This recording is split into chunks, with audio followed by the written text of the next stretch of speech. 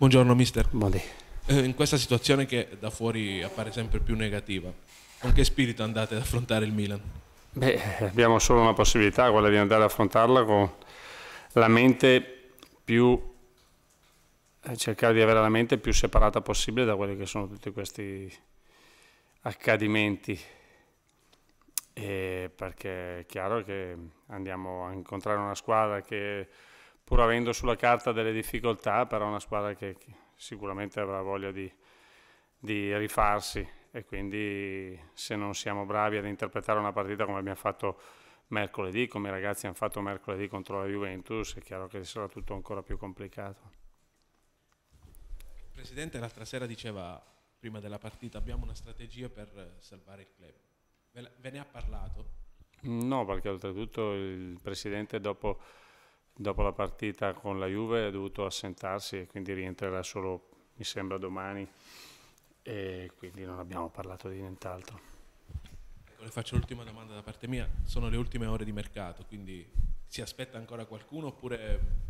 Beh, ormai il mercato ci ha sempre, come dire, eh, eh, fatto vedere spesso e volentieri situazioni che si evolvono e si eh, chiudono nelle ultime ore, quindi come al solito succede che mh, tra oggi e domani molto si calma e poi lunedì si scateneranno un po' tutti quanti, quindi vedremo un po' quello che, che riserverà la giornata di, di, lunedì, che cosa sarà possibile fare. È chiaro che, come abbiamo già ripetuto nel recente passato, c'è bisogno di, di fare qualcosa dal punto di vista del mercato, però poi no, non so esattamente quello che sarà fattibile o meno, però le idee insomma le abbiamo.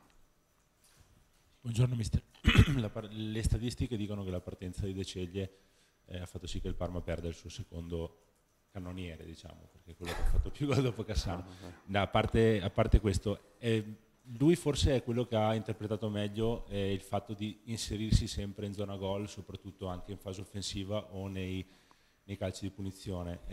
Quanto, quanto è importante che tutti facciano questo ah, l'ha ripetuto è, anche altre volte. è molto importante, è chiaro che De Ceglie l'abbiamo utilizzato anche qualche volta anche nei giocatori più offensivi e non diciamo alla Gobi in una difesa a 4 perché ha sempre fatto più un ruolo, quasi sempre più un ruolo avanzato e quindi era lecito aspettarsi che potesse trovarsi un po' di più l'appuntamento in area.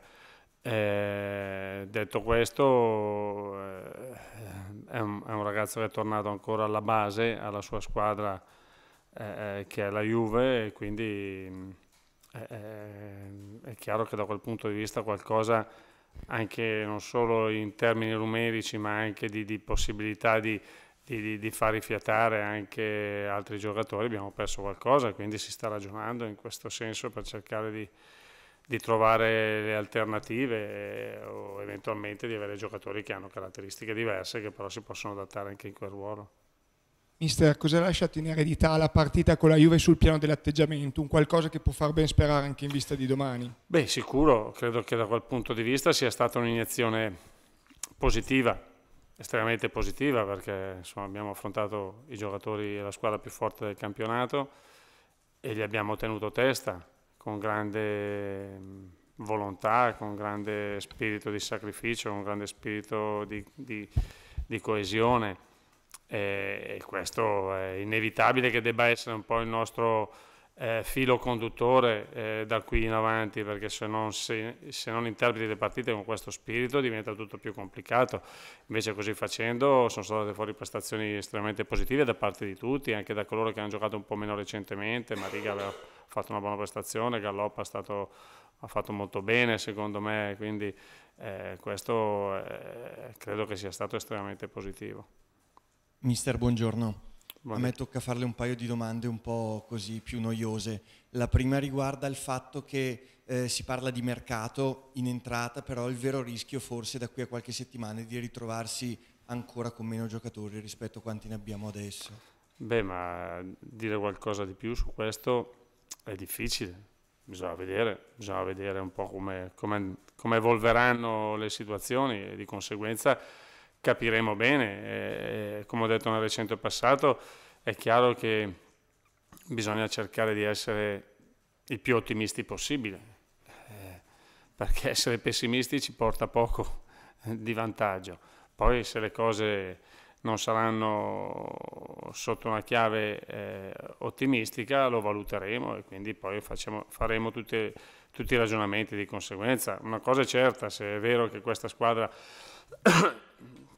ed è assolutamente vero che questi giocatori non percepiscono lo stipendio dal mese di luglio, eh, vuol dire che il fatto che qualcuno eh, decida di rimanere non è che sia la garanzia che gli stipendi si, si percepiranno, eh, speriamo tutti di sì, ma questa, questa garanzia non c'è, mm, ad oggi non, non, non, non l'abbiamo ancora, quindi eh, a noi non cambia assolutamente niente, eh, dobbiamo solo pensare di fare il nostro dovere fino in fondo, nel limite del possibile, del, delle, umani, delle, delle, umane possibilità e, e, e, rispettare quello che è prima di tutto un discorso di, di dignità personale. E l'altra domanda che le volevo fare è su quella polemica che è nata con eh, Cassano che se n'è andato via, se vuole rispondere a quel tweet poco gentile, non insomma, so, poco non educato. So neanche, non so neanche cosa siano i Twitter, quindi non mi interessa assolutamente, per me è solo aria fritta, proprio niente, niente più di questo. Ma quel soprannome un po' antipatico Cresantemo gliel'aveva detto anche in faccia o lo ha soltanto cinguettato sui social network? Dai, su, smettiamola con queste scemenze, parliamo di cose serie. Um, per me queste non sono cose serie, quindi non, non meritano nessun genere di commento. Fine. E tornando alla domanda che faceva prima il collega su De Ceglie, eh, lui ha ricordato che è andato via il vice capocannoniere, ma è andato via anche il capocannoniere che per l'appunto era eh, Fantantonio. Da questo punto di vista, eh, eh, diciamo così, si incrementano i problemi offensivi della squadra oppure viceversa possono eh, essere trovate nuove soluzioni alternative se sì, su cosa può aver lavorato? No, si può rimediare a tutto assolutamente. Un po' più esplicito? No, che si può. Eh, cosa sto a raccontare? Manca Tizia, manca... Se, se avessi messi Ibrahimovic e e Cavani eh, magari incrementeremo, ma abbiamo, abbiamo, quelli che abbiamo e cercheremo di lavorare affinché quelli che abbiamo eh, portino qualcosa in più. Direi che le risposte che abbiamo avuto dal punto di vista eh, eh dell'impegno, della volontà, del sacrificio mercoledì è stata veramente la prova provata che si può, si può fare comunque bene. Eh, per quello che possono valere le voci diciamo così, di radiomercato, abbiamo così, registrato un possibile eh, interessamento per un ritorno di, di Alberto Cerri, eh, che non so quanto potrà più o meno essere realizzato o meno. Nel caso lo ritiene? Non lo so nemmeno io, eh, onestamente, eh, anche perché insomma, è un giocatore che è in un'altra società e quindi bisogna sempre ragionare anche con la società di appartenenza attualmente, anche se poi il cartellino è di proprietà del Parma, però sono tutti questi discorsi che eh, eh, esulano un po' dalle mie capacità e dalle mie competenze, quindi non saprei cosa dire. La cosa importante è che il ragazzo stia bene, che sia ritornato ad essere fisicamente a posto, perché è un giocatore giovane che ha bisogno sicuramente di tornare a giocare e poi vedremo dove sarà fattibile. Ehm, le volevo chiedere se i giocatori o, o, o, quelli impegnati mercoledì in Coppa hanno recuperato, se ad esempio Rodriguez può essere schierato ancora dall'inizio. Sì, direi che ieri c'era ancora qualcuno un po' faticato, però faccio conto che tra oggi e domani siano un po' tutti, mi auguro che siano un po' tutti a posto e, e pronti per la partita, insomma. E proprio a proposito dei giocatori nuovi, eh, l'altro giorno sono stati in campo nella partita precedente praticamente tutta, tutta la gara e hanno dimostrato insomma, di aver birra fino in fondo. Tra le altre cose, insomma, curioso per due giocatori che stavano arrivando insomma, da un periodo di inattività. Sì, eh, sono stato, tra virgolette, sorpreso anch'io, in maniera estremamente positiva. Questo mi piace, questo vuol dire che anche al di là del discorso estrema, strettamente fisico, c'è anche un discorso mentale che è stato importante. e, e quindi aver avuto una risposta così da Nocerino, da Rodriguez, eh, vabbè Varela è entrato dopo, eh, però è stato sicuramente una cosa, una cosa positiva. Positiva vuol dire che questi sono ragazzi che hanno, si sono calati in questo tipo di contesto e hanno capito quali sono le priorità, le necessità e questo è estremamente importante per noi. Volevo chiedere da, da grande ex come, come, vede da fuori insomma, il momento no. del Milan.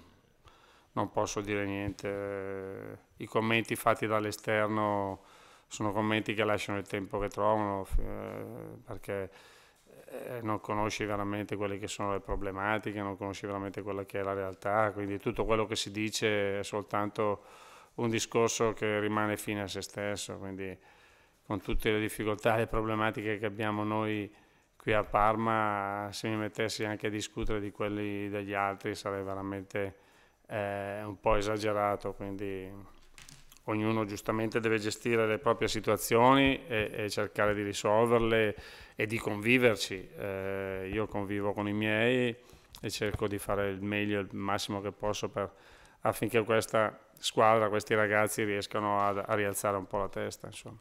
E sempre Inzaghi poco fa diceva prima vorrei vedere eh, un bel gioco, il Milan delle prime partite di campionato e poi il risultato. E credo magari lei invertirebbe. Eh. Ma non si tratta di invertire niente. Io credo che sia sempre comunque molto difficile vincere facendo delle brutte partite. Questo è pacifico.